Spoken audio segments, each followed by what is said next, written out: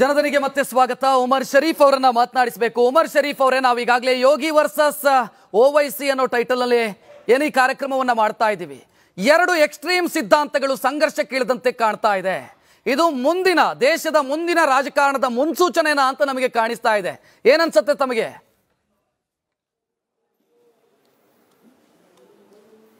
So ಎರಡು extreme ಅಂತ ಹೇಳೋಕ್ಕಿಂತ ನಾನೇನು ಹೇಳ್ಕೊತೀನಂದ್ರೆ ಯೋಗಿ ಆದಿತ್ಯನಾಥ್ ಅವ್ರ ಹೇಳಿಕೆ ಕೊಟ್ಟಿರೋದು ಟೋಟಲಿ ಕಾನೂನಿಗೆ ವಿರುದ್ಧವಾಗಿದೆ.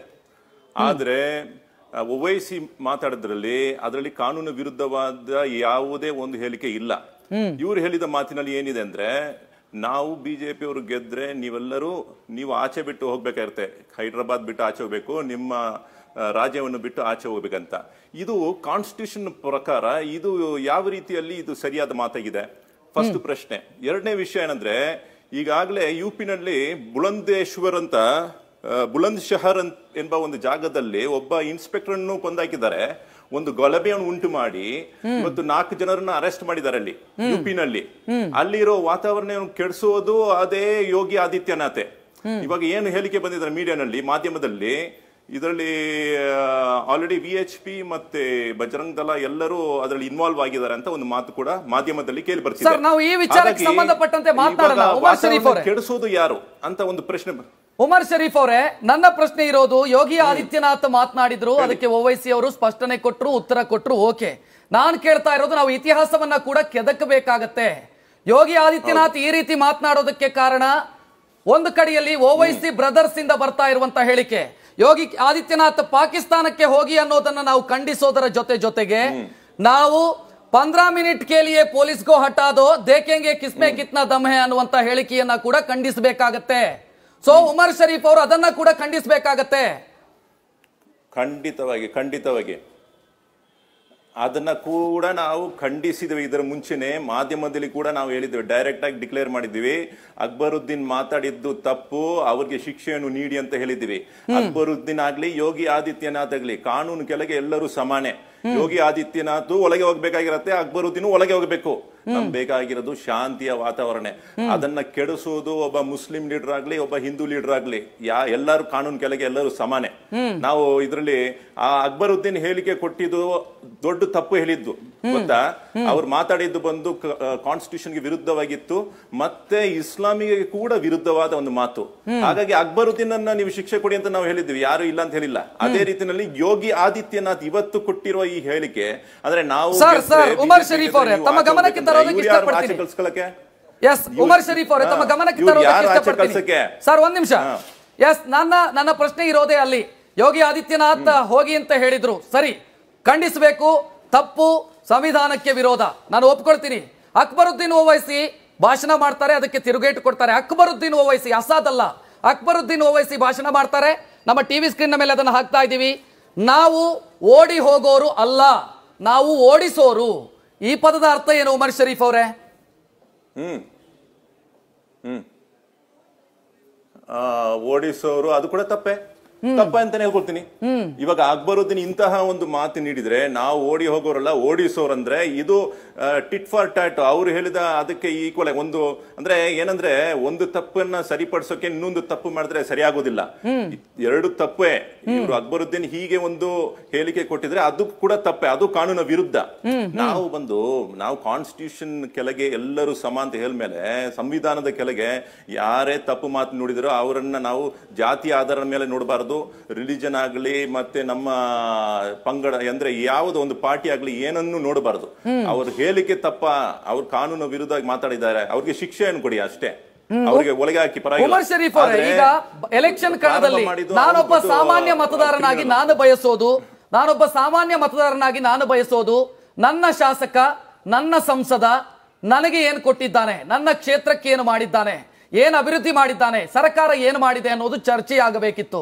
ಆದ್ರೆ ಈ ಪಂಚರಾಜ್ಯದ ಎಲೆಕ್ಷನ್ನಲ್ಲಿ ನಾವು ನೋಡ್ತಾ ಇರೋದು ರಾಮ ಮಂದಿರ, ಬಾಬರಿ ಮಸ್ಜಿದ್ ಮತ್ತು ಈ ರೀತಿಯ ಪಾಕಿಸ್ತಾನಕ್ಕೆ ಓಡಿಸುವ ಮತ್ತು ಓಡಿ ಹೋಗುವ ಮಾತುಗಳು. ಯಾಕೆ ಹೀಗಾಗ್ತಾ ಇದೆ? ಯಾರಿಂದ ತಪ್ಪಾಗ್ತಾ ಇದೆ? ಹೌದು.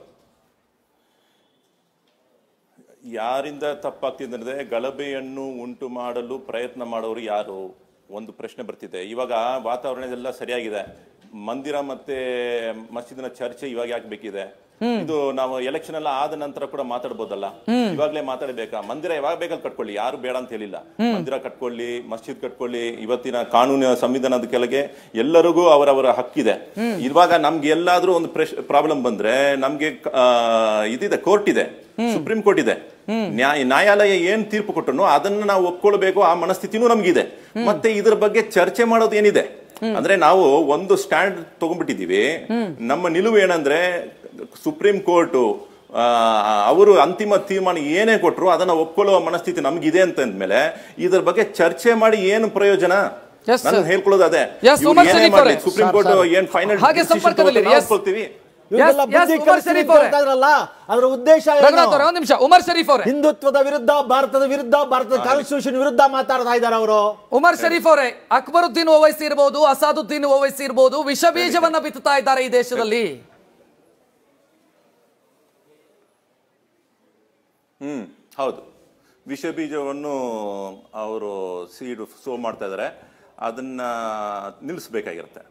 ಅದು ಅಕ್ಬರುದ್ದೀನ್ ಆಗ್ಲಿ ಇಲ್ಲ ಆದಿತ್ಯನಾಥ್ ಆಗ್ಲಿ. ಇಬ್ರು ತಪ್ಪು ಮಾಡಿದ್ರೆ ಅದನ್ನ ನಿಲ್ಲಿಸಬೇಕಾಗಿರುತ್ತೆ ಇಲ್ಲಿ ಬಂದು ಕಾನೂನ ಕೆಳಗೆ ಇದ್ಕೊಂಡು ರೌಡಿಸಂ ಮಾಡಕ್ಕೆ ಯಾರಿಗೂ ಅನುಮತಿ ಇಲ್ಲ.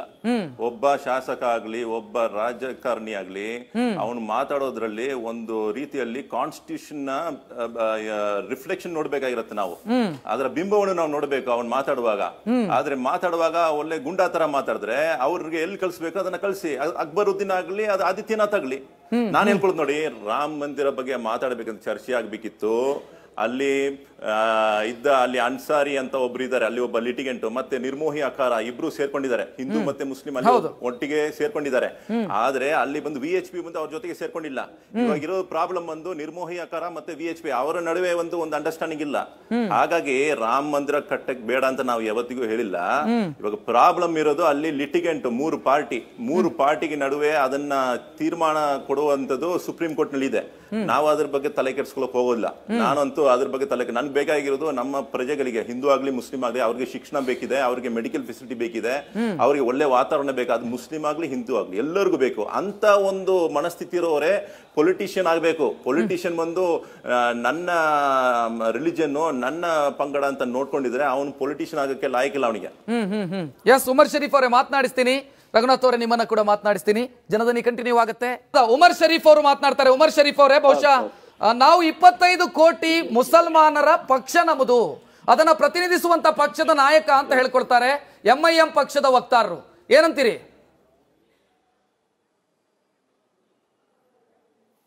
ಏನು ಮುಸಲ್ಮಾನರಿಗೆಲ್ಲ ಇಡೀ ಮುಸಲ್ಮಾನರಿಗೆ ಅವ್ರ ಏನು ಪ್ರತಿನಿಧಿ ಅಲ್ಲ ಈ ಓ ಐ ಸಿ ಬ್ರದರ್ಸ್ ಏನೋ ನಮ್ಗೇನು ಲೀಡರ್ಸ್ ಏನಿಲ್ಲ. ಅಲ್ಲಿರುವತಕ್ಕಂತಹ ಆ ರಾಜ್ಯದಲ್ಲಿ ಎರಡು ಲೀಡರ್ಸ್ ಇರ್ತಾರೆ ಅವ್ರು ಮಾತಾಡುವಾಗ ಅನೇಕ ವಿಷಯಗಳ ಬಗ್ಗೆ ನಮಗೂ ಕೂಡ ಮರ್ಯಾದೆ ಉಂಟು. ಅವ್ರು ಮಾತಾಡೋ ಕೆಲವು ವಿಷಯದಲ್ಲಿ ನಮ್ಗೆ ಒಪ್ಪಿಗೆ ಇಲ್ಲ. ಹಾಗಾಗಿ ಅವರು ನುಡಿದ ತಪ್ಪಾಗಿರುವ ಮಾತಿಗೆ ಅವ್ರಿಗೆ ಶಿಕ್ಷೆಯನ್ನು ನೀಡಿ. ತೊಂದರೆ ಇಲ್ಲ. ಇವಾಗ ಅದೇ ಓವೈಸಿ ಬ್ರದರ್ಸ್ ಬಂದು ಪಾರ್ಲಿಮೆಂಟ್ನಲ್ಲಿ ಮಾತಾಡ್ತಾರೆ. ಒಳ್ಳೆ ಒಳ್ಳೆ ವಿಚಾರ ಬಗ್ಗೆ ಮಾತಾಡ್ತಾರೆ. ಅದೇ ಅವ್ರು ಬಂದು ಒಂದು ಸ್ಟೇಜ್ನಲ್ಲಿ ಬಂದ್ಬಿಟ್ರೆ ಬೇರೆ ರೀತಿಯಲ್ಲಿ ಮಾತಾಡ್ತಾರೆ. ಹಾಗಾಗಿ ಯಾರೇ ತಪ್ಪು ಮಾತಾಡಿದ್ರೆ ಅವ್ರಿಗೆ ಶಿಕ್ಷೆಯನ್ನು ನೀಡಿ. ಹಾಗೆ ಇನ್ನೊಂದು ವಿಷಯ ಅನ್ಕೊಳ್ತೀನಿ. ಇದು ಏನು ಧರ್ಮಾಧಾರಿ ರಾಜಕಾರಣ ಅಲ್ಲ ಇದು ಗುಂಡಾಗಿರಿ ರಾಜಕಾರಣ. ಅದು ಯೋಗಿ ಆದಿತ್ಯನಾಥ್ ಮಾಡ್ಲಿ ಇಲ್ಲ ಓವೈಸಿ ಮಾಡ್ಲಿ ಅವರು ಧರ್ಮದ ಹೆಸರನ್ನು ತಗೊಂಡು ಮಾಡೋದೆಲ್ಲ ಗುಂಡಾಗಿರಿ. ನಮ್ಗೆ ಇಂಥದ್ದೆಲ್ಲ ಬೇಕಿಲ್ಲ. ನಮ್ಗೆ ಬೇಕಿರೋದು ಕಾನ್ಸ್ಟಿಟ್ಯೂಷನ್ ಸಂವಿಧಾನ ಮತ್ತೆ ಪ್ರ- ಪ್ರಜಾಪ್ರಭುತ್ವದ ಆಧಾರದ ಮೇಲೆ ಏನೇ ಮಾತಾಡ್ಲಿ ನಮ್ಗೇನ್ ತೊಂದರೆ ಇಲ್ಲ. ನಾವು ಈ ಮಣ್ಣಿನ ಮಕ್ಕಳು ಈ ಪ್ರಜೆಗಳು ಮತ್ತೆ ನಾವೆಲ್ಲರೂ ಒಗ್ಗಟ್ಟಾಗಿರ್ಬೇಕು. ಹಿಂದೂಗಳಾಗ್ಲಿ ಮುಸಲ್ಮಾನರಾಗ್ಲಿ ಕ್ರೈಸ್ತರಾಗ್ಲಿ ಎಲ್ಲರೂ ಒಗ್ಗಟ್ಟಾಗಿ ಜೀವನ ಮಾಡಬೇಕಾಗಿದೆ ಈ ಭಾರತದಲ್ಲಿ. ಮತ್ತೆ ನಾವು ಅಖಂಡ ಭಾರತ ಬಗ್ಗೆನೂ ಮಾತಾಡೋಣ. ಒಂದು ಕಾಲ ಬಂದ್ರೆ. ನಮ್ಗೆ ಬೇಕಾಗಿರೋದು ಪಾಕಿಸ್ತಾನ ಬಾಂಗ್ಲಾದೇಶ ಎಲ್ಲ ನಮ್ಮ ಬಿಟ್ಟು ದೂರ ಆದವರೆಲ್ಲ ಒಟ್ಟಿಗೆ ಬರಲಿ ಒಂದು ದಿನ ಬರಲಿ ಎಲ್ಲರೂ ಒಂದಾಗಿ ಸೇರ್ಕೊಳ್ಳೋಣ ಅಂತ ನಾವು ಆಸೆ ನಮ್ಮ ಆಸೆ ಆಗಿದೆ ಇನ್ಶಾ ಅಲ್ಲಾ. ಹ್ಮ್ ಹ್ಮ್. ಸರ್ ಇಲ್ಲಿ ಒಂದು ಪ್ರಶ್ನೆ ಬರುತ್ತೆ ಸರ್. ಒಂದು ಸಮುದಾಯವನ್ನ ನಾವೇ ಅದರ ಐಡೆಂಟಿಟಿ ಅಂತ ಹೇಳ್ಕೊಳ್ಳುವಂತ ನಾಯಕರಿದ್ದಾರೆ. ಹಿಂದೂಗಳನ್ನ ಭಯ ಮೂಡಿಸಿ ನೀವು ನಮಗೆ ಓಟ್ ಹಾಕದೇ ಹೋದ್ರೆ ಹೌದು. ನಿಮಗೆ ಸಮಸ್ಯೆ ಆಗತ್ತೆ ಅಂತ ಹೇಳೋರಿದ್ದಾರೆ. ಮುಸಲ್ಮಾನರಿಗೆ ಭಯ ಮೂಡಿಸಿ ನೀವು ನೀವು ನಮಗೆ ಓಟ್ ಹಾಕ್ಲೇಬೇಕು ನಾವು ಇಪ್ಪತ್ತೈದು ಕೋಟಿ ಮುಸಲ್ಮಾನರ ಅಸ್ಮಿತೆ ಅಂತ ಹೇಳೋರಿದ್ದಾರೆ. ಸೊ ಏನ್ ಮಾಡಬೇಕು? ಈ ರಾಜಕಾರಣದಲ್ಲಿ ಧರ್ಮವನ್ನ ದೂರ ಇಡಬೇಕು ಅಂತಂದ್ರೆ ಏನ್ ಮಾಡಬೇಕು ಸರ್? ಸರ್ ಒಳ್ಳೆ ಲೀಡರ್ ಬೇಕು ಸರ್. ಯಾವುದೇ ಒಂದು ಕಾನ್ಸ್ಟಿಟ್ಯೂನ್ಸಿನಲ್ಲಿ ನಾವು ಪಕ್ಷವನ್ನು ನೋಡಬಾರದು. ಅಲ್ಲಿರತಕ್ಕಂತಹ ಲೀಡರ್ ಹೇಗೆ ಅಂತ ನೋಡ್ಬೇಕು. ನಾನ್ ನೋಡಿ ನನಗೆ ಒಂದು ರೀತಿಯಲ್ಲಿ ಬಿಜೆಪಿಗೆ ನನಗೆ ಅಷ್ಟು ಸೆಟ್ ಆಗೋದಿಲ್ಲ. ಆದ್ರೆ ಪಿ ಸಿ ಮೋಹನ್ ಅವ್ರ ಬಗ್ಗೆ ಮಾತಾಡುವಾಗ ನನಗೆ ಜಾಸ್ತಿ ಗೌರವ ಉಂಟು. ಪಿ ಸಿ ಮೋಹನ್ ಬಗ್ಗೆ ಮಾತಾಡಿದ್ರೆ ನಾನು ಅವ್ರಿಗೆ ಮರ್ಯಾದೆ ಕೊಡ್ತೀನಿ. ಅಂತ ಒಬ್ರು ಲೀಡರ್ಸ್ ಬಗ್ಗೆ ನೀವು ಯಾವುದೇ ಒಂದು ಪಕ್ಷದಲ್ಲಿ ನೋಡಿ ಬಿಜೆಪಿನಲ್ಲಿನೂ ಒಳ್ಳೆಯವರು ಇದ್ದಾರೆ ಕಾಂಗ್ರೆಸ್ ನಲ್ಲಿನೂ ಒಳ್ಳೆಯವರು ಇದ್ದಾರೆ ಮತ್ತೆ ಯಾವುದೇ ಒಂದು ಪಾರ್ಟಿನಲ್ಲಿ ಒಳ್ಳೆಯವರು ಇರ್ತಾರೆ. ನಿಮ್ಮ ಕಾನ್ಸ್ಟಿಟ್ಯೂನ್ಸ್ನಲ್ಲಿ ಯಾರು ಸೆಕ್ಯುಲರ್ ಆಗಿದಾರೋ ಯಾರು ಎಲ್ಲರನ್ನು ಒಂದೇ ರೀತಿಯಲ್ಲಿ ನೋಡ್ತಾರೋ ಎಲ್ಲರಿಗೂ ಒಳ್ಳೆದನ್ನು ಒಳಿತನ್ನು ಮಾಡೋಕ್ಕೋಸ್ಕರ ಮುಂದೆ ಬರ್ತಾರೋ ಅವರಿಗೆ ನೀವು ವೋಟ್ ಮಾಡಿ ಪಕ್ಷವನ್ನು ನೋಡಬೇಡಿ. ಇದು ನನ್ನ ಮಾತಾಗಿದೆ. ಸರ್ ಒಂದು ಪ್ರಶ್ನೆ ನಾನು ಸೋಷಿಯಲ್ ಮೀಡಿಯಾವನ್ನ ಒಬ್ಸರ್ವ್ ಮಾಡಿದ ಸಂದರ್ಭದಲ್ಲೂ ಕೂಡ ಮುಂದೆ ನಮ್ಮ ಯೂತ್ ಅನ್ನ ಗಮನಿಸಿದ್ರು ಕೂಡ ನಮಗನಿಸ್ತಾ ಇದೆ ಈ ರಾಜಕಾರಣ ಏನ್ ನಡೀತಾ ಇದೆ? ಇದು ಭವಿಷ್ಯದ ರಾಜಕಾರಣದ ಸ್ವರೂಪವನ್ನ ನಾವು ನೋಡ್ತಾ ಇದೀವಾ?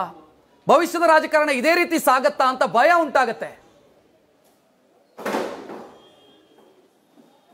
ಹ್ಮ್ ಹ್ಮ್ ಇಲ್ಲ ಭಯ ಇರ್ಬೋದು, ಆದ್ರೆ ನಿಮ್ಮಂತವ್ರು ಒಳ್ಳೆಯವರು ಇರುವಾಗ ಆ ಭಯವನ್ನು ದೂರ ಇಡಿ. ಯಾಕಂತ ಹೇಳಿದ್ರೆ, ಇವತ್ತು ನೋಡಿ, ಒಳ್ಳೆ ಪ್ರಶ್ನೆ ಮಾಡಿದ್ದೀರಾ?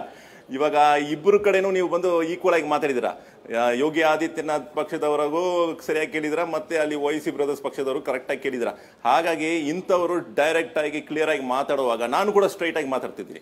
ನಮ್ಮಂಥವ್ರು ಇರುವಾಗ ಭವಿಷ್ಯ ಬಹಳ ಸ್ಟ್ರಾಂಗ್ ಆಗಿದೆ ಒಳ್ಳೆ ಫ್ಯೂಚರ್ ಉಂಟಾಗುತ್ತೆ ಅಂತ ನನಗೆ ನಂಬಿಕೆ ಇದೆ ಇನ್ಶಾಲ್ yes thank you Umar Sharif ಅವರೇ ದಿಗ್ವಿಜಯ ನ್ಯೂಸ್ ಜೊತೆಗೆ ಈ ಡಿಸ್ಕಷನ್ ಅಲ್ಲಿ ಭಾಗವಹಿಸಿದ್ದಕ್ಕೆ ಥ್ಯಾಂಕ್ ಯು ಸೋ ಮಚ್